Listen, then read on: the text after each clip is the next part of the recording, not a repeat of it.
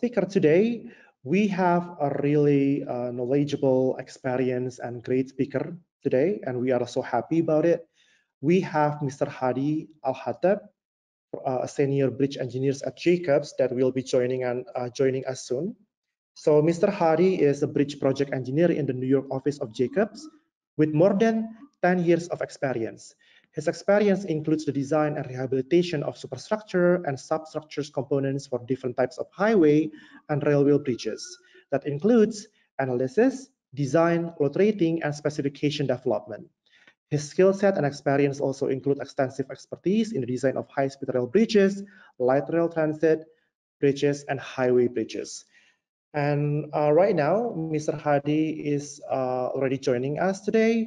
So Mr. Hadi, can you hear me right now? Yes, I do. Do you hear me well? Yes, I can hear you well. Uh, again, Mr. Hadi, thank you so much for joining us today. And I think uh, even though I have introduced you as our speaker, you can also introduce yourself in more detail, so you know our attendees can get you uh, can get to know you well. And yeah, uh, right now uh, I can I will make you the presenter, so you can also introduce yourself and start the presentation right away. All right. Yep. Thank you. Thank you. Okay, right now you can, uh, you are the presenter and you can share your screen.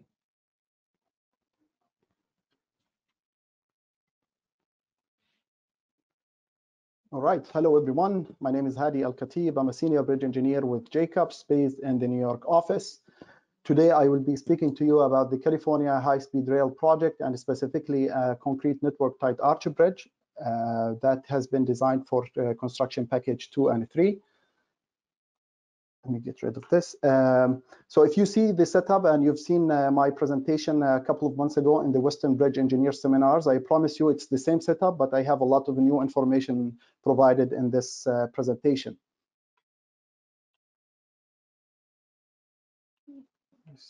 Okay, uh, an outline for my presentation today. I will go over the project status and the bridge location and the state, uh, state route 43. I will give a little bit more details about the superstructure and the substructure components of this bridge. I will go over the analysis methodology and the finite element models that we have uh, used for this bridge or that we have developed for this bridge in order to incorporate the analysis methodologies. I will touch base on some unique elements of this bridge, such as the uh, hanger cables, the rib, and the EradiQuake isolation bearing. And at the end, I will have uh, one quick slide about the construction status of this project of this uh, of this bridge. Sorry. Okay, so the California high-speed rail system is being built through a series of design-build contracts uh, in California, uh, called defined as construction packages. They have been there have been uh, four construction packages so far. Construction package one, construction package two and three are uh, merged together, and construction package four. So this bridge that I'm talking about, the network tied arch bridge, is part of construction package two and three. Construction package two and three is the most significant uh, construction package out of the four packages. It includes 60 miles of rail and approximately 36 grade separations through the counties of Fresno, Tulare, and Kings. The contractor on this project is Dragados and Flatiron, and the Jacobs is the lead designer on construction package two and three. So the SR43 bridge, the network tied arch bridge, is located in Fresno County at State Route 43 between Davis Avenue and Cold Slough Bridge. So this is the State Route uh, 43 and the green line uh, represents the high-speed rail track. And this is a key map also showing the same information. Uh, so construction package two and three has three different segments, segments one, two, and three. So this uh, bridge is part of segment one. And again, it is between Davis Avenue and Cold Slough Bridge. Uh, so the tied arch bridge, of course, it carries high-speed trains over the route, uh, State Route 43. So the uh, bridge is 236 foot long. Uh, uh, underpass is a concrete network tied arch bridge. It's a single span bridge supporting ballasted tracks. There are two types of tracks, ballasted and direct fixation. So this one is supporting ballasted tracks. So the bridge consists of the following components, uh, post-tension concrete tie beams, uh, cast in place reinforced concrete arch ribs and arch rib bracings, uh, reinforced concrete end diaphragms, precast pre-stressed concrete floor beams, cast in place reinforced deck and longitudinal track diaphragms, and hanger cables in a network arrangement. This is a plan view and elevation of view of the bridge. The elevation view shows that the bridge or the arch height is about 56 foot height. Again, it is a single span bridge, so it rests on two abutments, abutment one and abutment two. In the plan view, you can see the State Route 43 passes under the bridge and it is very close, uh, or it is close uh, to abutment two, but there is a future plan of widening the State Route 43. That's why abutment one for now is a little bit far from uh, far from the right of way, but in the future, after they widen the bridge, it will be uh, similar also maybe similar clearance to horizontal clearance to abutment to abutment two as well.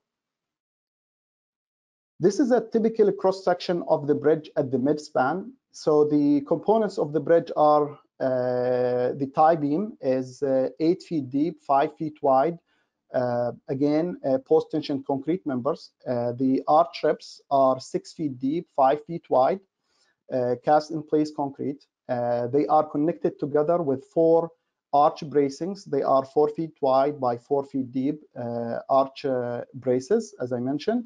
There are 20, 28 wide flange, 42 inch deep floor beams connecting the two tie beams together and supporting the slab deck and supporting, of course, the ballasted track. Uh, the hanger cables are 3 inch diameter, grade 150, high strength deformed threaded bars per ASTM A722. So if you've seen high-speed rail uh, projects in the in the in, in California or for other bridges, let's say it is a, a, a similar or a standard uh, guideway for uh, all bridges. Uh, so this is the uh, standard guideway for ballasted track again.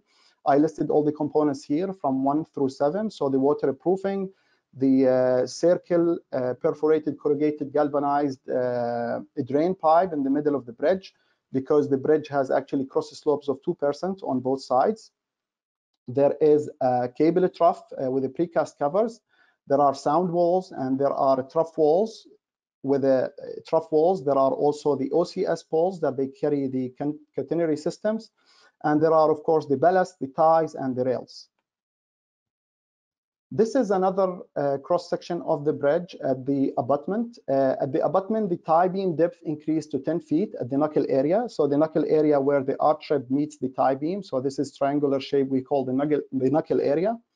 Uh, there are two end diaphragms. There are uh, 13 feet wide by 5 feet deep, cast in place also reinforced concrete.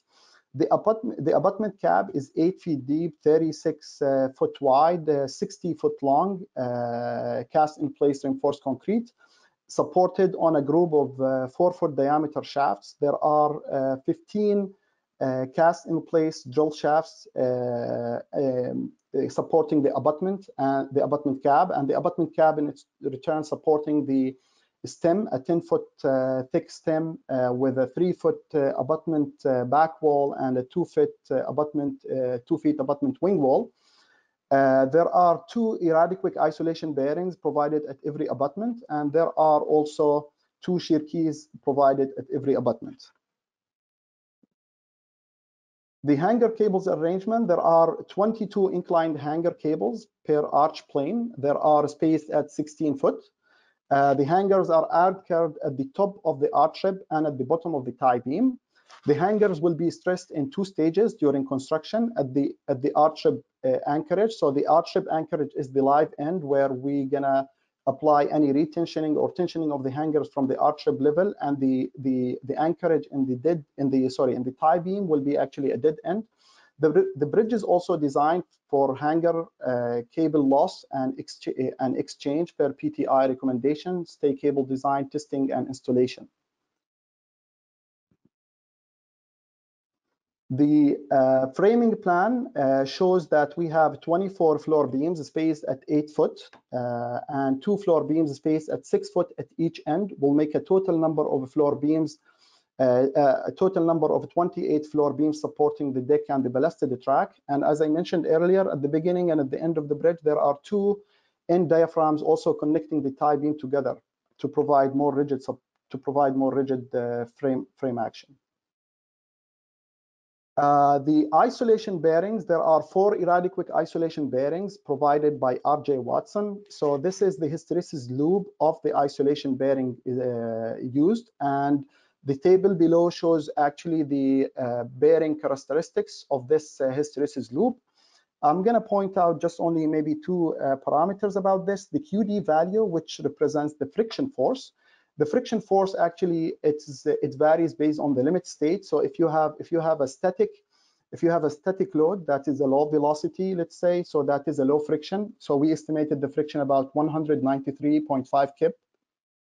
And if you have a high velocity during an earthquake event, such as strength 5 and extreme 3 limit states, then the uh, QD value will go to 387 kip, uh, kip. And then there is also a small uh, displacement that's going to happen with that. So uh, QD divided by that small displacement, it's about one eighth of an inch we estimated. That will give you the KU value, which is the elastic stiffness of this hysteresis loop. And the KD value also provided on this hysteresis loops comes from the stiffness of the springs that I will show you later on in my presentation. The analysis methodologies, uh, similar to any other uh, bridge uh, that was designed for high speed, for California high speed rail as well. So we started with a static analysis. Uh, this is a general analysis, non-seismic analysis. And then we have developed the time-dependent construction stage analysis, uh, the nonlinear geometry analysis, including the pushover and the P-delta analysis, the hanger loss and hanger exchange analysis, uh, nonlinear seismic analysis with its uh, two components, the OBE and the MCE. Uh, nonlinear track structure interaction includes four subcomponents, the frequency analysis, track serviceability, and rail structure interaction, and at the end, the dynamic analysis as well. So this table summarizes all the finite element models that we have and also shows the analysis and the, the analysis type and the objective of the model. So we're going to start with the static one, the non-seismic, the general one. So the analysis uh, type is linear static and live load analysis. The objective of this model is to capture the superstructure and substructure force demands. Usually the applicable limit states are uh, strength 1 to 4, service 1 to 3, and extreme 1 to 2. Then we go to the construction stage analysis, uh, time-dependent analysis. The objective of this analysis is to capture the force deformation and uh, use the hanger force tuning to get the, uh, the pretension of the hangers. It is also applicable to the same limit states, strength 1 to 4, service 1 to 3, and extreme 1 to 1 and 2.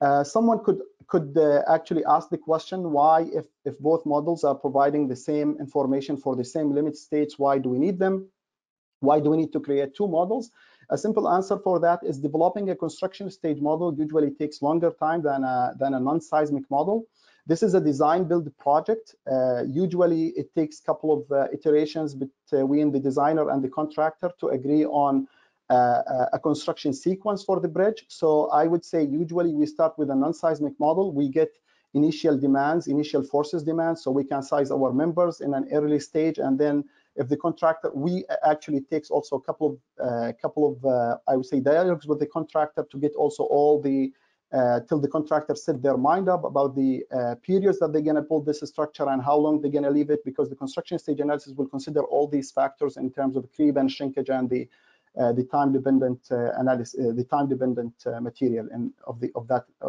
for that structure another type of analysis is the hanger loss analysis so that hanger loss analysis it's it's, it's two parts the hanger loss and hanger exchange so it, it has two parts static and dynamic again per PTI recommendations uh, the seismic analysis has two levels, the OBE and the MCE, the maximum considered earthquake and the operating basis earthquake. Uh, so for both, uh, the, um, the, the, the, objective of this analysis is to get the force demands from that seismic level. The OBE covers strength 5 and the MCE covered extreme 3. Uh, the track structure interaction with its four components. Uh, the first one is frequency. It's an eigenvalue analysis what we get is usually a vertical and transverse torsional uh, frequencies, and we compare them with the recommendation from the project design criteria manual. Uh, so that will help uh, uh give us a, a proportion like structure and minimize the resonancy effect if there is any. Uh, track serviceability, that is a live load and nonlinear time history analysis. And the objective of the analysis is to get the superstructure and track deformations to make sure that the uh, ensure the passengers comfort and make sure like there is no derailment with the, with the live load. Uh, the applicable limit state to that is group one to three. You're going to see some of these uh, limit state as, as not the the limit states that we usually are familiar with. So group one to three and group four to five, those limit states or those groups, uh, load groups are defined in the project design criteria. Some of them, they include uh, an OBE seismic level and include some dead load and live load based on the type of analysis that we're doing. The other type of track structure interaction is rail structure interaction. Uh, it is a nonlinear time history analysis, and we do the analysis to get the rail deformation and the stresses. Um, the, uh, the last one is the dynamic analysis, and it is also a nonlinear time history analysis, and we do it to capture the vertical deck acceleration and get the dynamic amplification factor for the LLV train sets. And usually there are limits provided in the design criteria that we have to satisfy. So uh, a quick look at the finite element models that or description of the finite element models that we have developed for the bridge. This is general description and it can fit most likely in all the uh, all the finite element models that we have developed. Of course, we have used Midas uh, Civil, uh, detailed 3D uh, three-dimensional finite element models uh, developed in, in Midas to capture the geometry, the material, and the boundary nonlinearities. The finite element models of the SR43 tied arch bridge represents all the structural member, members of the bridge. There are four general elements that were used in, in our models. Uh, beam elements uh, we use for the piles, the tie beams, the arch ribs, the arch rib braces, and the, the longitudinal track diaphragms. And we used plate shell elements for the footings, abutments, and the deck slab. We use tension-only truss cable elements for the hanger cables, and we use spring elements and general links for the PY curves and the bearings. The composite action between the pre-stressed concrete and the floor beams, uh, sorry, between the pre-stressed concrete floor beams and the deck was modeled through rigid links connecting the deck shell elements to the girder beam elements. Uh, there was also a fixed connection assumed between the floor beams and the tie beam. Uh, that was modeled through elastic rigid links. And there is also a fixed connection assumed between the arch rib and the arch bracings uh, using elastic rigid links as well. So that description fits very well that I mentioned earlier, the, uh, the non-seismic model.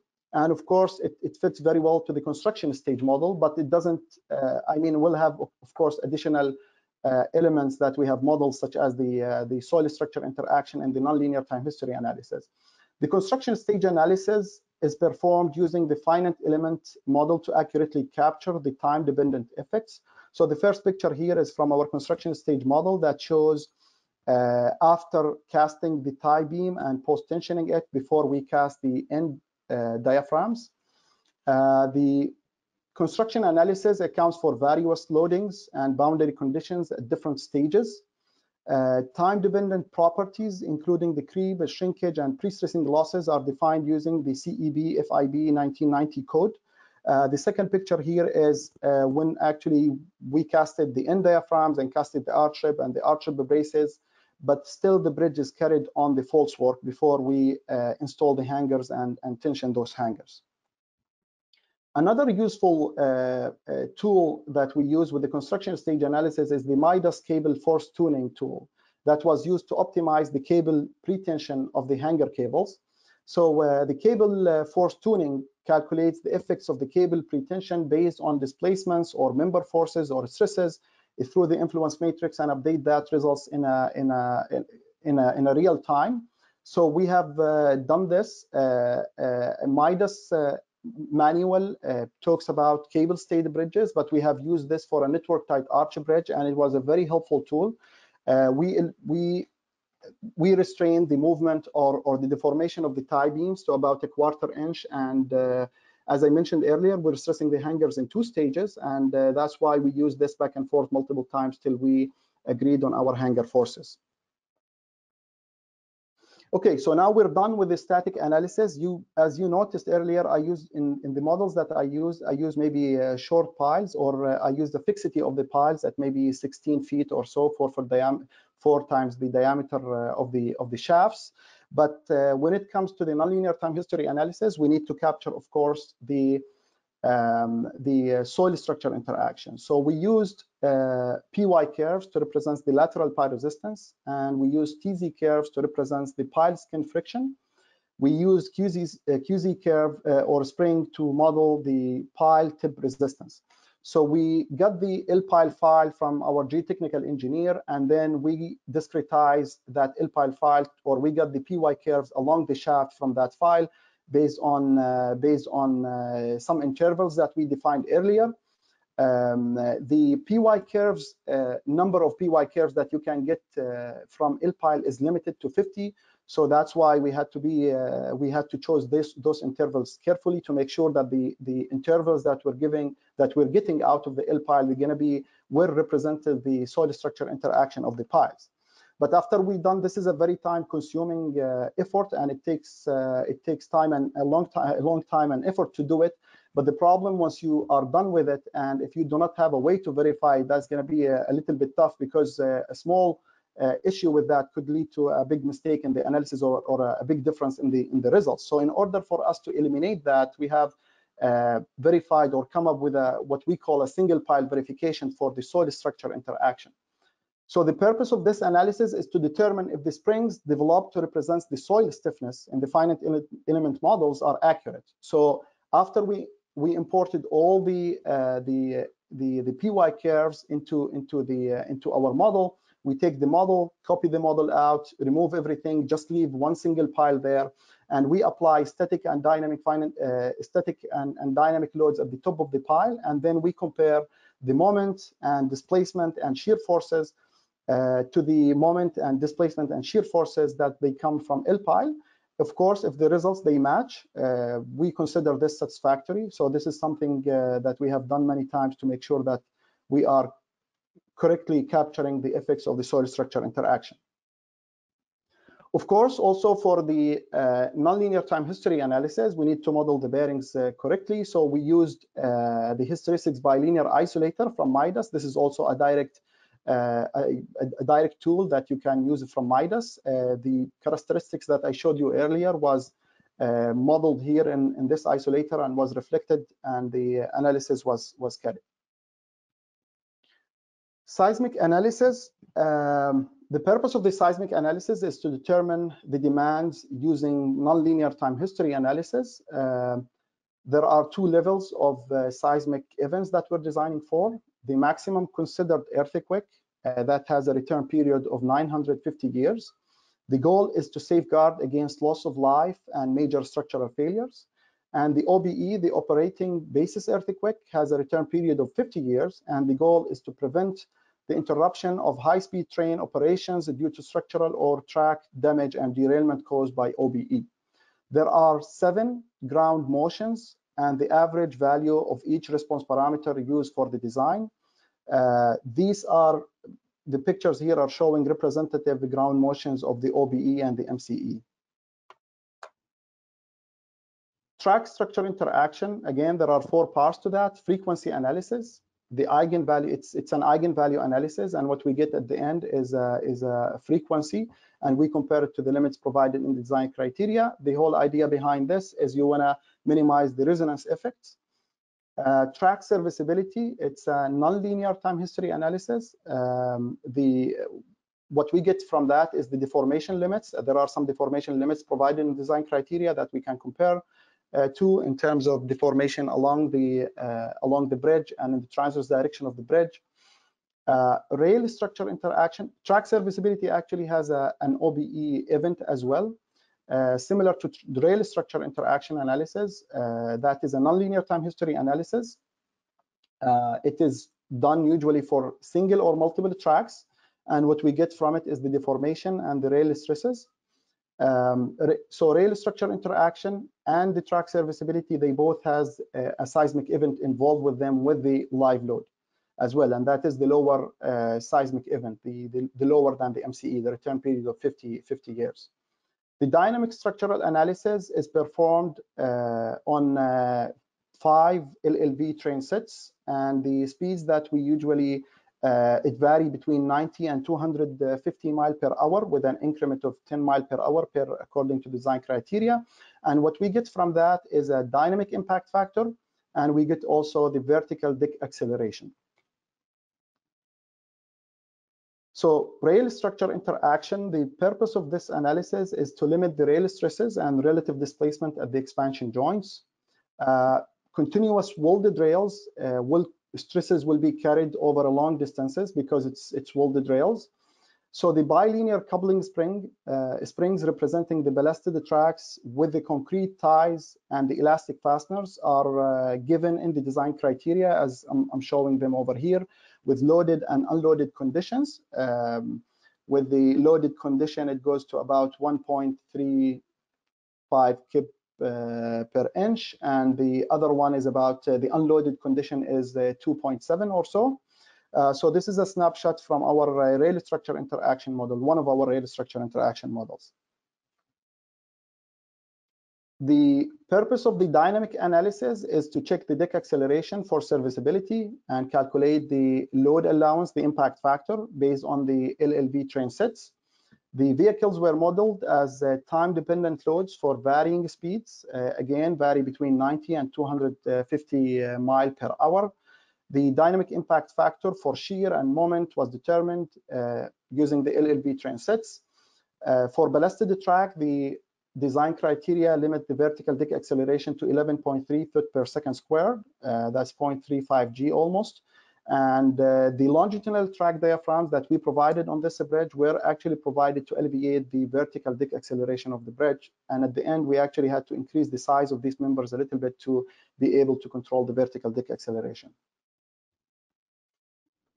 Uh, hanger design criteria for replacement or, or loss. So the hanger replacement um, for this bridge uh, provides, uh, again, the design of the, of the bridge provides uh, for the replacement of any individual hanger using the following load factors and combination. Again, those for hanger replacement and hanger loss, they are provided per the PTI recommendation for stay cable design and uh, testing and installation.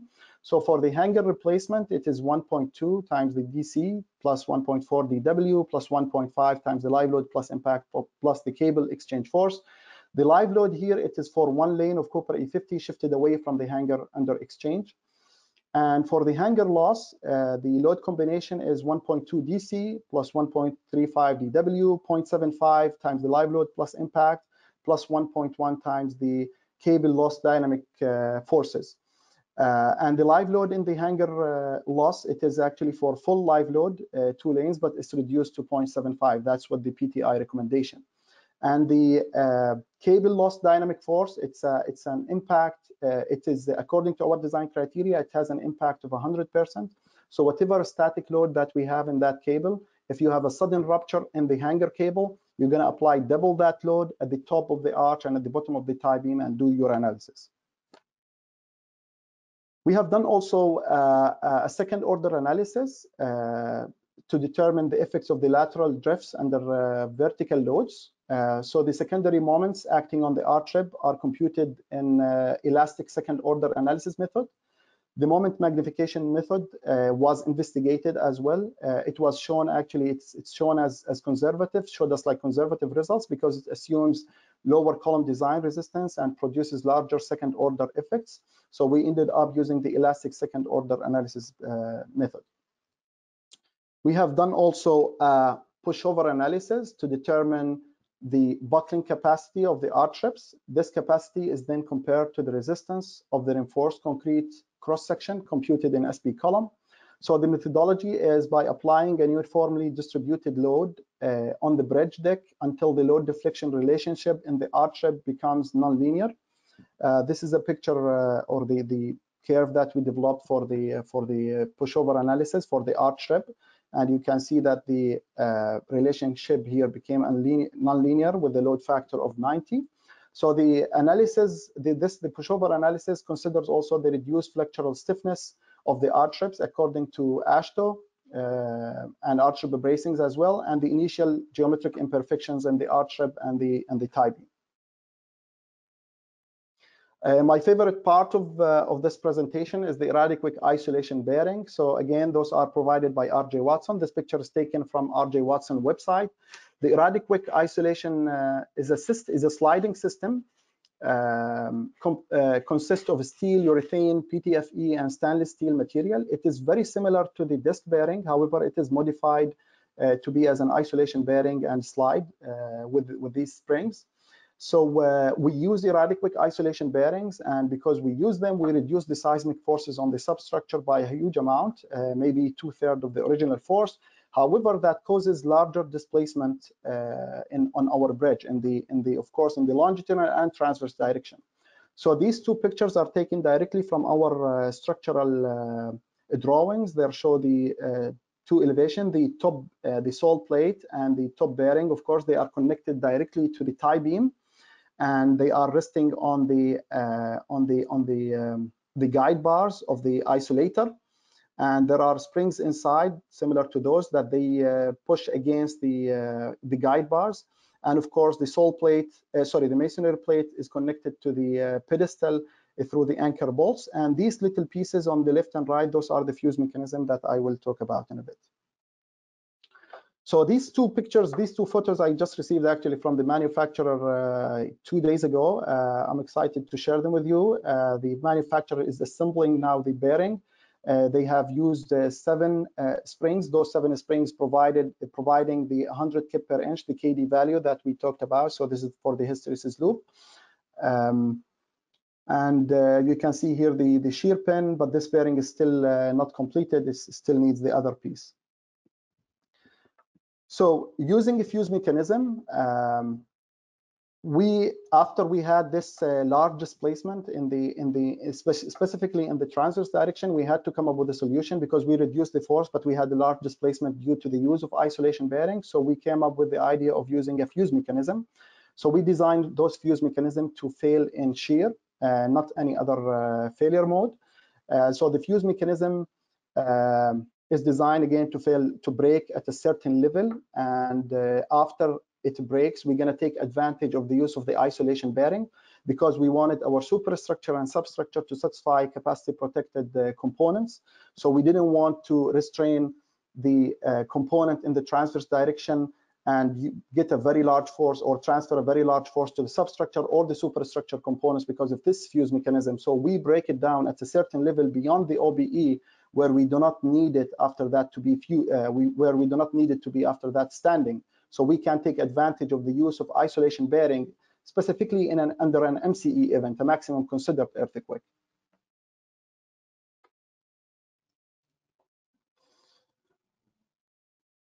Uh, so again, the fuse mechanism designed to fail in shear. The fuse mechanism is actually uh, two plates connected at a 90 degree with some brackets inside, uh, some brackets supporting the the vertical uh, the vertical plate.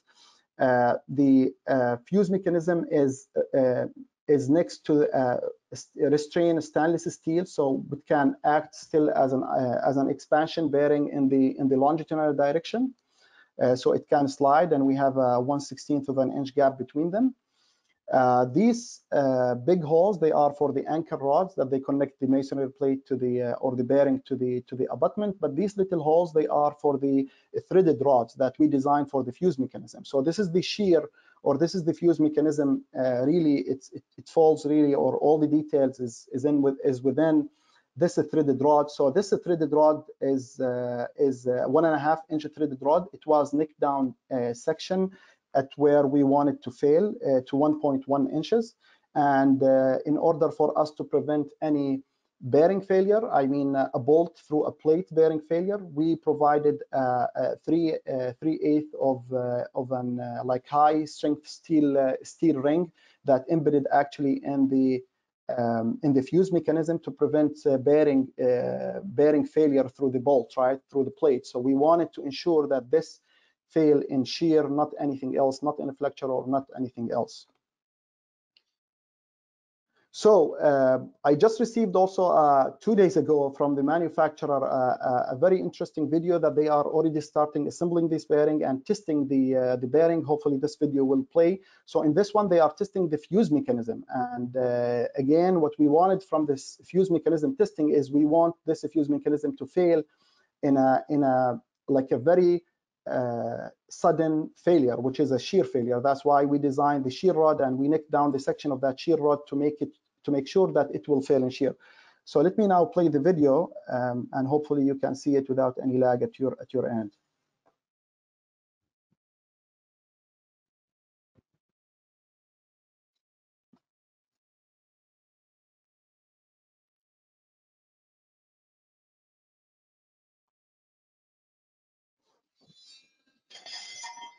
Okay, so I have played it uh, more than 20 times uh, before, but uh, I would uh, just uh, repeat it again and maybe stop before that it fails. Show you what I mean here by a small deformation. Oops. Okay, this is what, what we wanted. So uh, I'm gonna play it again.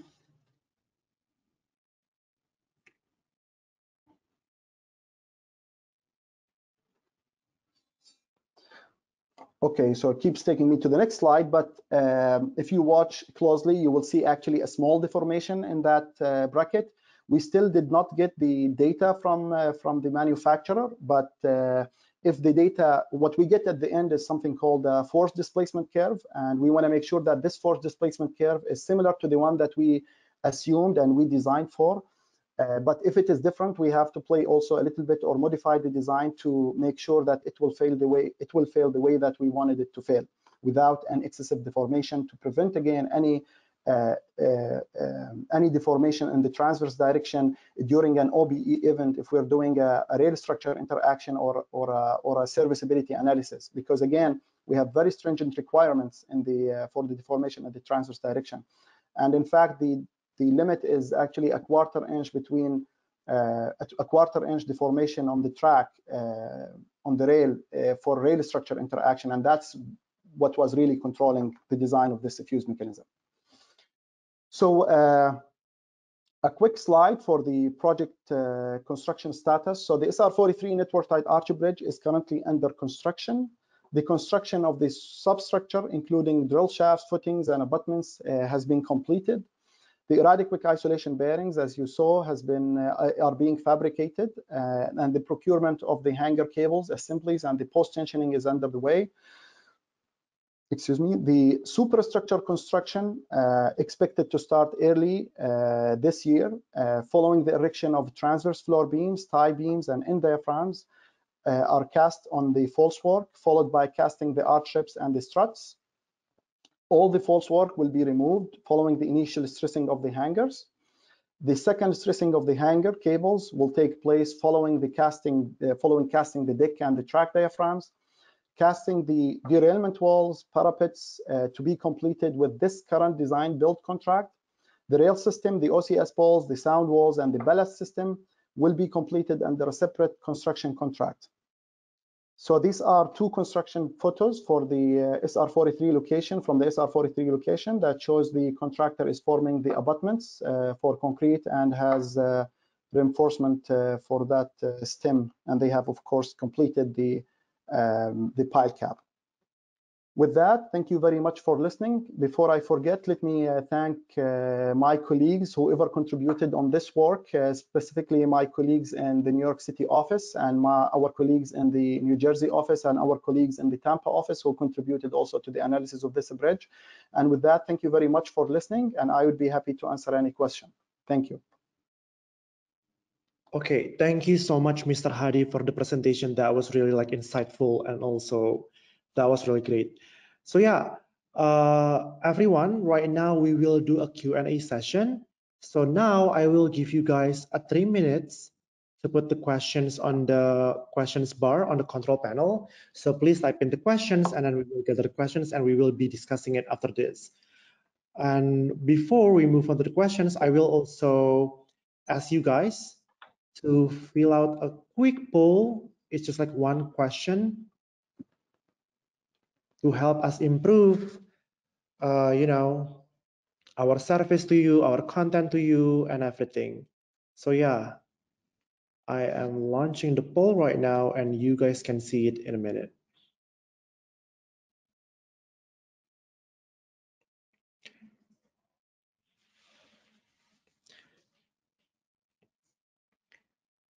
So yeah, please kindly fill out the poll to let us know your experience with our content, our webinar, workshop, our article, and also our website content. So that way we can improve our service and we can also improve our content to help you guys with your needs and also your situation.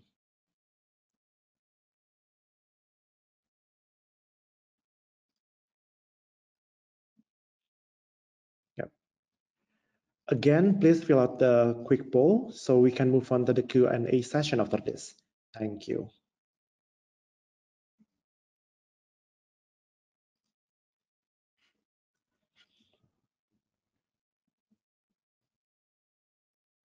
And don't forget to put the question on the question bar because we will collect it right now and we will be discussing it in a minute.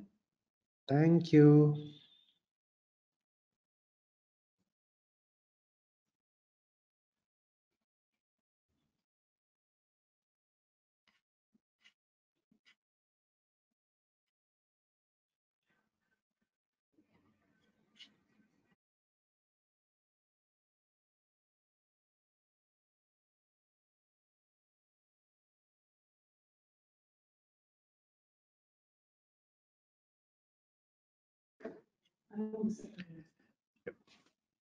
Okay, everyone, thank you so much for the questions. Uh, I will give you one more minute to put the question, and after this, we will be discussing it with Mr. Hadi.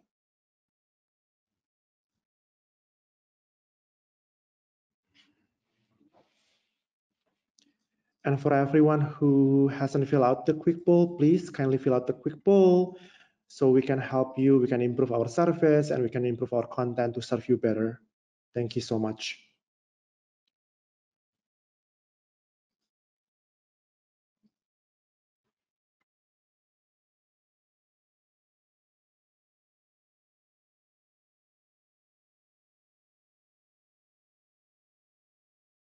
Okay, thank you so much everyone for filling up the poll. I will close the poll right now. And yeah, Mr. Hadi, right now we have a lot of questions. Uh, I think we can start with the first slide of the question. So the question, the first question is from Srikota. What was the target factor of safety used in the design for the cable loss? Um, let me i think it's uh, I, I, think the the pti recommendation is uh, 0.8 uh, of the ultimate uh, ultimate strength and and that's about 125 ksi not exactly sure about the 0.8 it is either 0.8 0.85 something like that. Okay. Thank you so much. The second question from by Baikunta Silwal, does seismic OBE is equivalent to the DBE or different case? If different case, why says uh, seismic DBE case is not considered for the analysis? Mm, I'm not sure what is the DBE is, um, the seismic equivalent to DBE. Okay. Yep, Could, I think we can move on to the, to yeah. the next question. Yeah, we sure. can uh, keep this question uh, for later. I will email you for that. The third question is from uh, Kate Russell. I was wondering why your team decided to use a pre-stressed uh, pre concrete tie girder over a steel box section given that it carries primarily tension? Yes, so uh, this was uh, decided by the authority. They prefer concrete, and that's why they prefer the concrete uh, network tied arch. It wasn't our call in, in that uh, a bit. So we helped them at some point, but it was their call. Okay, thank you so much. Next question from Baikunta. How do how do you use buckling analysis result for the arch analysis? So the uh, buckling analysis results that we got from the uh, from the pushover analysis uh, was compared to the spColumn capacities uh, of the of the arch itself. So that's how we make sure that the buckling load is less than the capacity of the of the uh, of the arch. Okay, thank you. Next question from Tarek uh, Tarek Hosini. Uh, when you check the response of the piles based on the PY curve defined in Midas 3D model for its validation, knowing that uh, the LPILE is a 1D model, how did you validate the Midas model? Did you get the same values for the deflection at the top of the piles obtained in LPILE? One second, please. Okay, well, um, no, because uh, what we assumed is, is just a, a, dummy load in the in the LPILE and of course in the in the single pile verifications, just to make sure that it was it was done appropriately. But uh, we have done it on many different loads. Like uh, when we did our analysis, we got the maximum load, the maximum the, the, from the maximum considered earthquake, from OBE, from strength one to four. So we applied these loads in LPILE, and then we applied the same loads in uh, static loads and dynamic loads in uh, in uh, in Midas, and then we did a couple of comparisons. So what I showed you is, is just one example, but we have done that uh, multiple times, and, and we have shown a good agreement between the two. Okay, I see. Next question from also Tariq. In the nonlinear dynamic analysis, seismic and TSI, did you consider one value of the damping, the one of the pre-stressed or reinforced concrete, or did you consider different dampings, the one of pre-stressed concrete still for cables and reinforced concrete in the same model?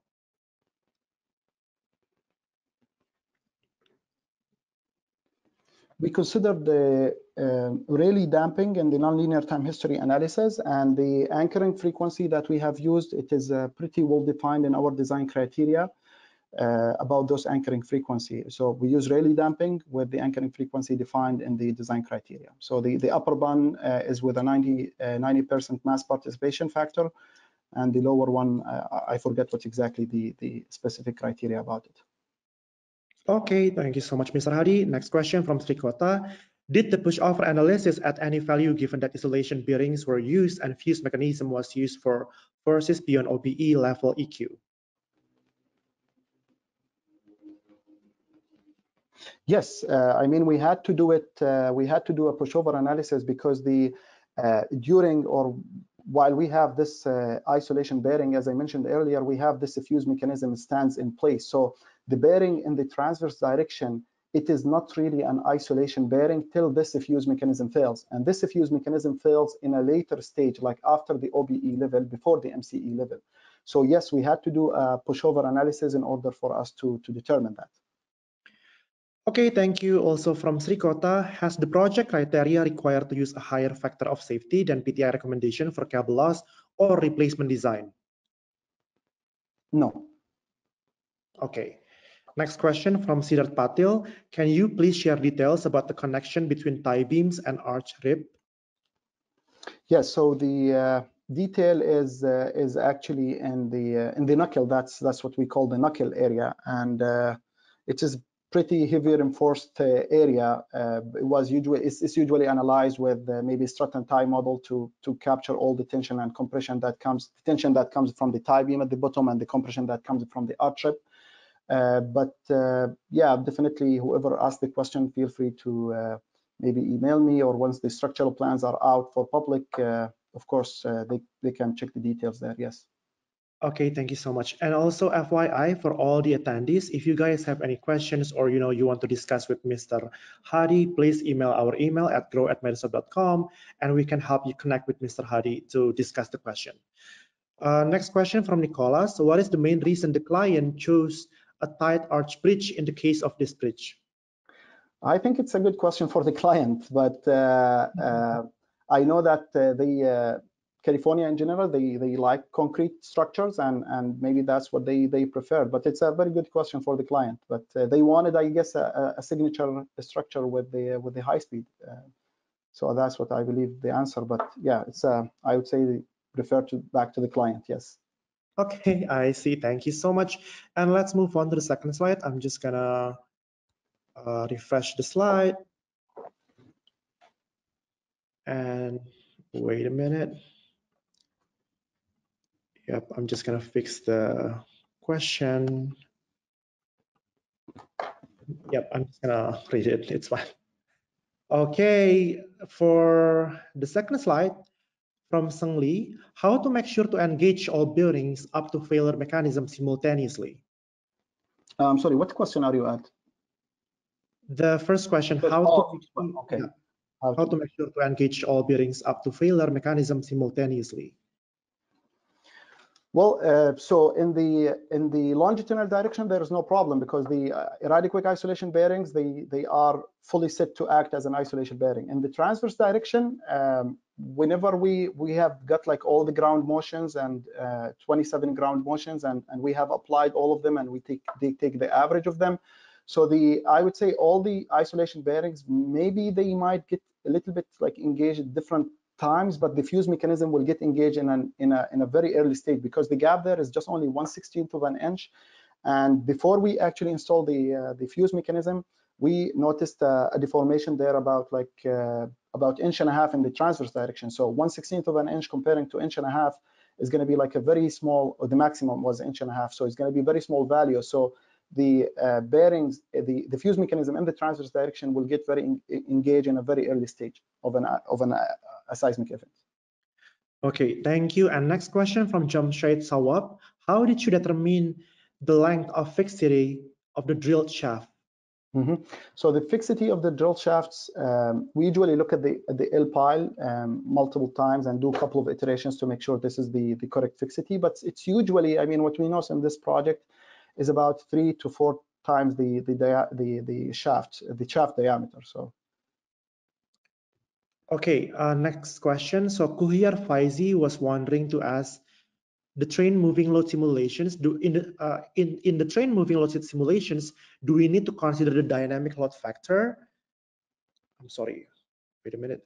A factor to account for the impact effect of wheel which is influenced by the train speed equivalent dynamic axle load.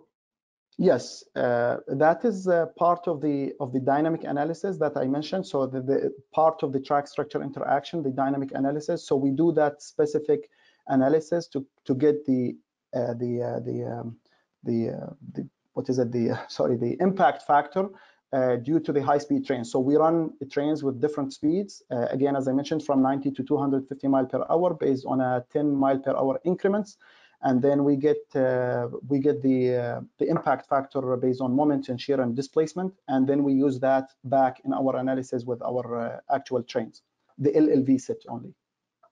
Okay, thank you so much. Next question from Upul Atanayake. How did you verify if the CEB FIP model is suitable for the concrete mix that you use for the bridge components? So uh, that is uh, this information actually provided to us in the project design criteria manual, and we're forced to use it. Okay. Next question knowing your background and PhD are in H, uh, H uh, sorry, SHM and BHM, what aspect do you use as critical to monitor with these advanced technologies? How have you come about understanding this? From Mary Katsuk.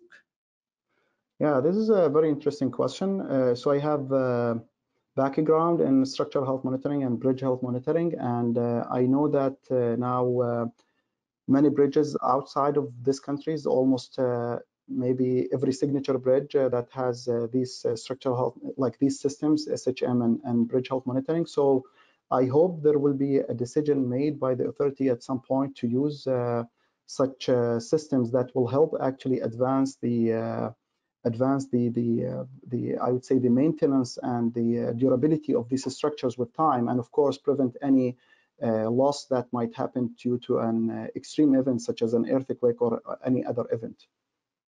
Okay, thank you so much. Next question from Baikunta. What types of buckling analysis is used for this bridge? Type of buckling analysis. Um, not sure what he means by the type of buckling analysis. Uh, okay, I think we can skip this question for now and we can uh, move on to the next question. It's mm -hmm. fine. Uh, next question from Rowan. Out of curiosity, did you consider a steel arch? I think we did not. Yeah, okay. Yep. Did not. Okay. Next question from Tarek. The isolation bearings contains a lead that yield under cyclic forces uh, to allow the energy dis dissipation and therefore reduce the acceleration values in the structure. Did you consider this reduction of the acceleration values? And if it's the case, what was the reduction value considered? So the reduction in uh, force, as I mentioned, uh, so before we actually adapt the isolation bearing used for this bridge, we were actually planning to use the uh, transmission shock devices on this bridge and uh, two transmission shock devices at one abutment and make the load share between all the four bearings. Uh, however, for some reason, this transmission shock device did not work uh, because of some clearance issues. So we had to switch to another seismic dissipation energy method, which was the isolation bearing.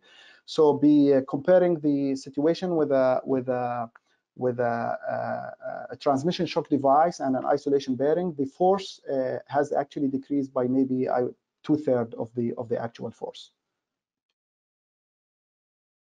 Okay, thank you so much. Next question from Chris. Can you talk about some of the critical elements in the structure that saw the largest dynamic amplification?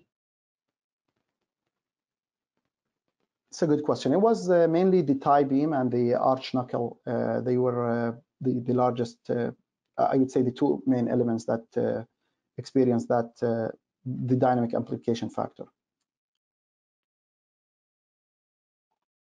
The tie beam mainly is the one what's exactly controlling.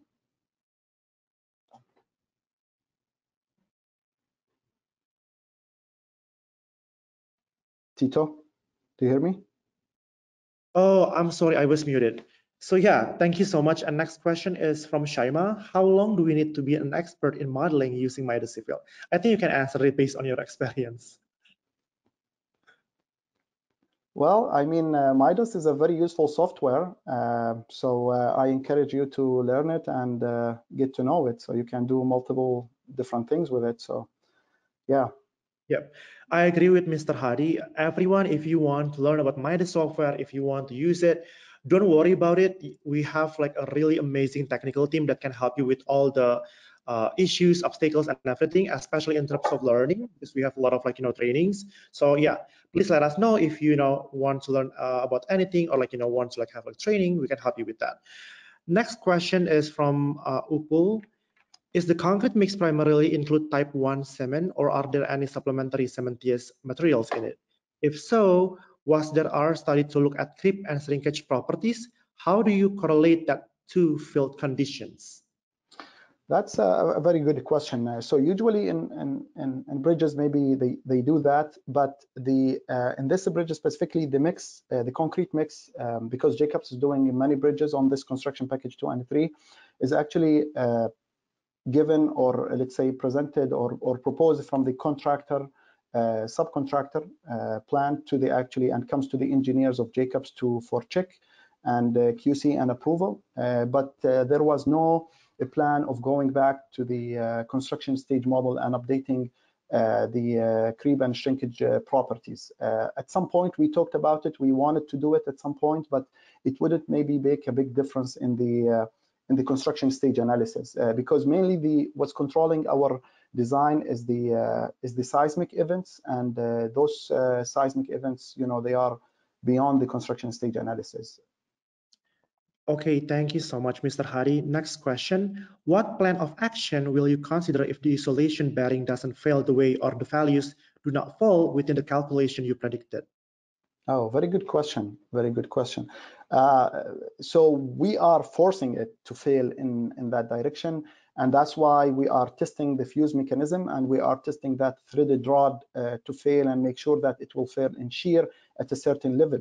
So we're going to do everything possible to make sure that it fails. But in case this doesn't fail, and it goes to the MCE level, still we have some uh, reserve capacity in the superstructure and the substructure to take up to the uh, the MCE event, the maximum considered earthquake event loads. Beyond that, it's not our responsibility because uh, that's what design criteria tells us to do, you know, at the MCE level. But if that also increased, then the bearing itself might fail. And what we have provided also is the uh, shear blocks to resist uh, or prevent any collapse of the structure under uh, on the SR43 route. Okay, thank you so much, Mr. Hadi. So first of all, uh, Mr. Hadi, I want to ask you, do you still have like maybe like five minutes to answer the rest of the questions? If you don't, uh, I can just like, you know, email you the questions and you can like answer it when you have free time. No, sure. Let's uh, let's go for it. Okay. Uh, next question. Uh, what types of, oh, I think uh, we have answered this. Uh, the next question is, since it was a complicated model with interaction between components, how did you validate the model to make sure it is working properly? From Cyrus Hamed Hoseinpur. Uh, what question is this? The second question, since oh. it was yeah, since it was a complicated model, how did you validate the model to make sure it is working properly?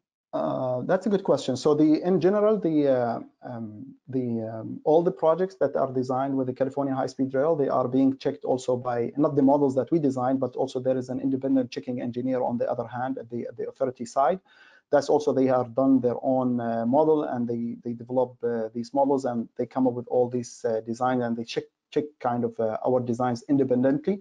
So this is a, a, one way of, of verification. And of course, every model that we do in, in Jacobs that been actually uh, within the, the QC process within uh, within Jacobs. Okay, thank you so much. Next question, how was the analysis or design independently checked?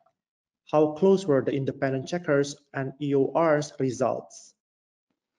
Yeah, I mean, there were some disagreement with the independent uh, checker engineer, but uh, It's a very complex analysis, uh, very various different models. Uh, so you can expect some differences between uh, two separate engineers, but at the end we came to an agreement and the uh, the bridge is under construction and we received the the approval on, on the on the plans.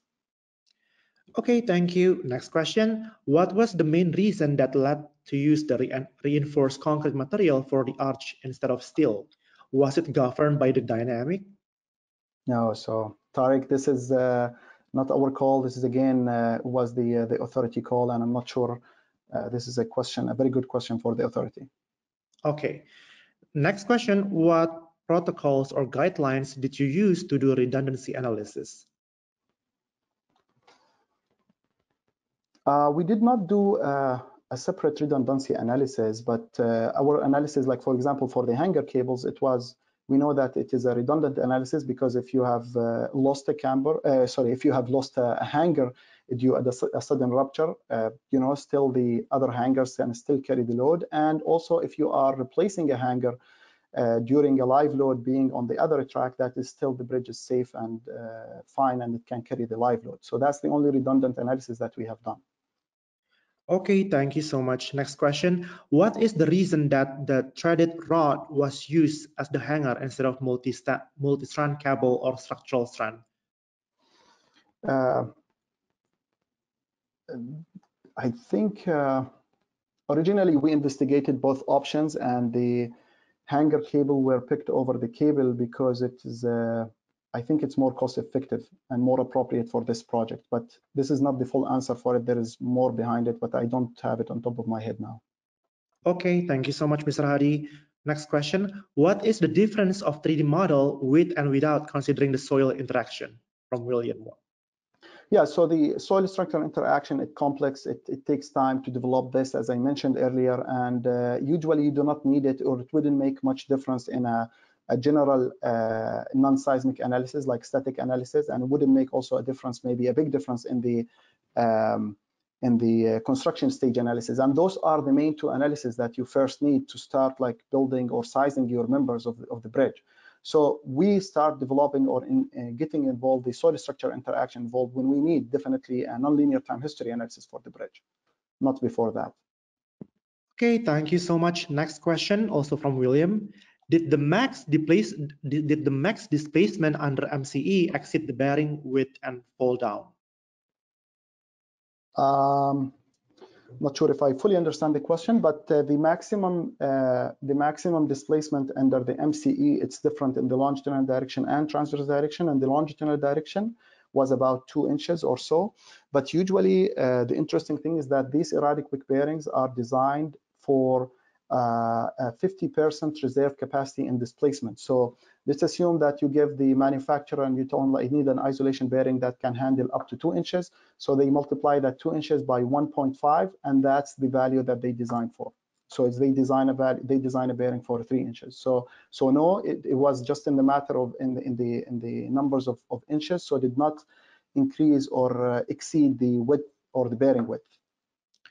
Okay, thank you. Next question. What are the details at cable connections? So uh, we have provided uh, some details based on uh, one manufacturer, uh, DYWIDAG, but uh, still uh, the contractor, they did not pick the the PT supplier for this project. So the details, they might change, but we have provided the full details. Um, and I'm not sure what kind of details you're asking about here. Okay, thank you so much, Mr. Hadi. Next question from Gregory. Were there analysis conducted for choosing between vertical hangers versus inclined or network hangers? Yeah, it's a very, very good question. Yes, we have done uh, analysis uh, in an early stage of the project. So uh, like using a vertical hang hangers versus a network hangers. And we found that we found out that using a, a network hangers will actually reduce the size of the tie beam and will be more effective uh, in this bridge. And uh, that analysis we have documented and we have done long time ago. And that's why we ended up using uh, network uh, hangers instead of vertical hangers. Okay, last question that we have today from Ihan Akrai. Have the wind loads had any significant effects on bearings or cables?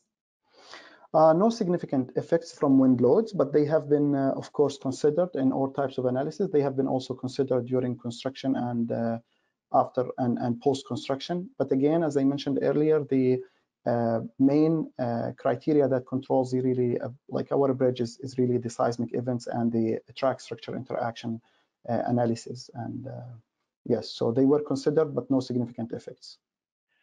Okay, thank you so much, Mr. Hadi, for answering the questions. I think this is the first time we have almost 40 questions in one session. And I think all the attendees agree that this session is really, really like insightful. Thank you so much for that. So yeah, I think uh, this is the end of our session. Mr. Hadi, do you want to say anything? Do you want to say something before we close the session? Yeah, thank you very much for having me. And I uh, enjoyed answering the question and presenting to uh, this audience. Thank you very much. Okay, thank you very much, Mr. Hadi. It's our pleasure and we appreciate your help in sharing your knowledge and experience. Also, from all the attendees, don't forget to check our blog on our website to access more webinars, workshop, and a lot of like engineering articles. And also, if you want to be connected with Mr. Hadi, don't forget to email, at, email us at grow at midasoft.com and we will connect you uh, with Mr. Hadi. And yeah, thank you so much, Mr. Hadi, and thank you so much, everyone who joining the session today. Uh, hopefully, this will be like insightful for all of you. And yeah, see you at the next session and have a nice day. Thank you. Thank you.